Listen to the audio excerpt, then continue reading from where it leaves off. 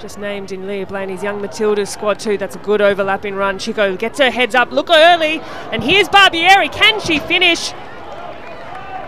Pulls that wide. She'll be disappointed with the effort. There's a nice build up from Newcastle, a little wry shake of the head. It's gone short to Lowry. Looks around the corner to find Farrow. Good first touch. Concedes territory. Ball driven in. Cowart's done really well. That's a promising first touch, and Jess Cowart is denied by a solid save from Isabel Nino.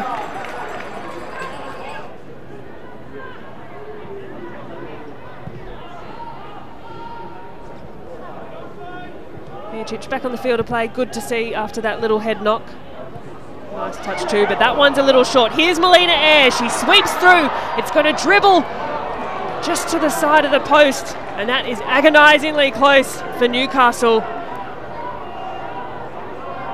It was a little bit of a short pass from Miocic.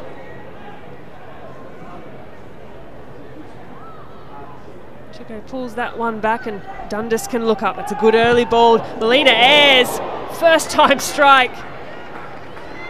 She's hit that really sweetly. Jess Cowart can look forward. Connects really well with Jale. Great ball. Tries to slip it through to Farrow, and that's a well-placed ball. Farrow cuts back in on her right, looking to get the shot away. And here's Phonsongkham. She strikes through delightfully.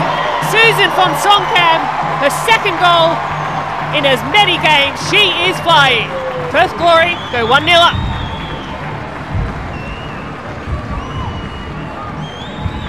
Well, it was building for Perth. They had chances in the first half. This came from a lovely build-up play at the back. A searching ball from Cowart, but this worked from Farrow. She's done really well. Miocic, nice early pass to Lowry. Lowry can look forward. Gets her eyes up. Nice early ball in from Perth. And here's Farrow yet again on the spot. It did take a little touch in from Nino.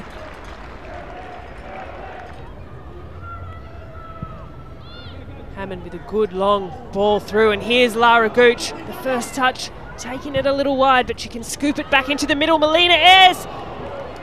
Well, we saw what she did late last weekend with a header.